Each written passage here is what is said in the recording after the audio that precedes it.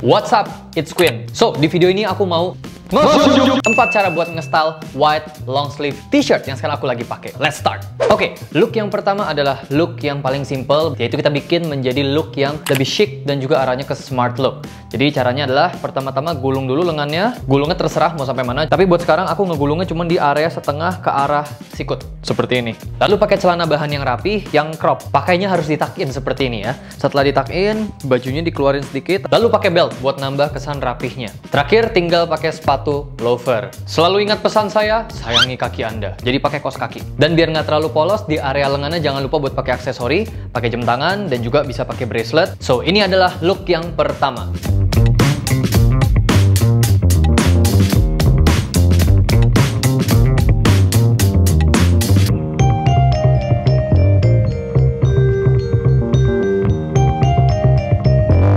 Next, ke look yang kedua, di sini masih look yang sebenarnya agak rapih, tapi lebih ada fashion twistnya. Jadi sekarang kan lagi pakai skinny pants. Nah, aku bakal ganti dengan memakai baggy pants warna biru. Selain baggy, celananya juga panjang. Kalau yang tadi kan crop ya, jatuhnya di atas mata kaki. Yang ini jatuhnya tuh sampai kena ke sepatunya. Lalu sepatunya kita ganti pakai Doc Mart Derby warna hitam. Lalu gulungan di lengannya kita lepas. Jadi kita panjangin lagi lengannya. Lalu area kaos yang tadi ditakin boleh dikeluarin sedikit. Jadi area depannya masih ditakin, tapi di area-area sampingnya bisa lebih dikeluarin jadi lebih santai daripada yang tadi. Lalu kita pakai aksesori chain buat nambahin fashion twistnya. Lalu dikasih ring juga yang bulat. Lalu pakai belt yang warna coklat. Finishingnya pakai topi cap warna putih. So ini adalah look kedua.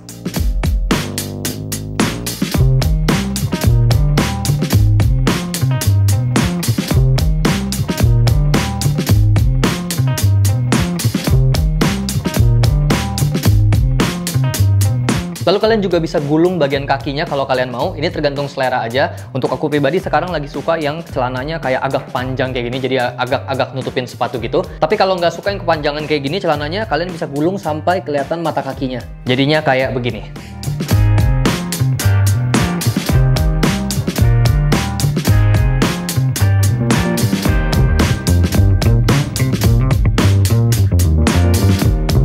Dari sini kita bisa ngeliat kalau twist sekecil itu, sekecil kayak hanya menggulung celana aja, itu udah bisa membuat looks yang berbeda padahal pakai item yang sama persis. Oke, kita lanjut ke look yang ketiga. Pertama-tama kita tambahin vest dulu yang warnanya gelap. Kalian boleh pakai vest apa aja, kalau kalian punya wear vest juga boleh. Tapi di sini aku pakainya vest yang rajut. Lalu kita ganti pakai celana cargo pants yang warna kaki. Sepatunya pakai high top sneakers. Di sini aku pakai Chuck Taylor Converse yang 70s. Terakhir kita ganti topinya pakai bucket hat. Nah, jadinya adalah look yang lebih streetwear dan juga lebih hip hop. Langsung rasanya tuh pengen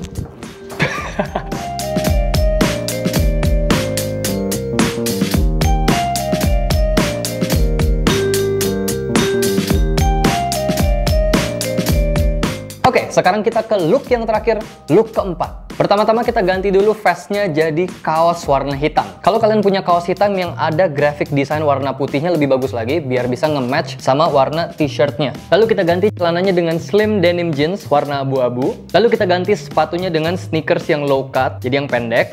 Ini aku pakai Hayden Heritage Vantage Resistant S. Lalu kita ganti kaos kakinya pakai kaos kaki yang panjang, warna putih. Lalu kita ganti topinya dengan pakai short beanie hat. Lalu karena aku suka aksesoris, aku suka tambahin lanyard dan juga tali sepatu warna kuning di area pinggang biar ada aksen yang ngegantung-gantung gitu. So untuk look yang keempat ini arahnya masih ke streetwear sama seperti look yang ketiga. Bedanya adalah tadi kalau pakai vest sebagai outernya, sekarang kita ganti pakai kaos biasa untuk jadi outernya. Dan karena di look yang ini pakai short beanie dan pakai jeans yang ditekuk terus kaos kakinya kelihatan, jadi somehow vibes-nya tuh agak kayak skater look gitu.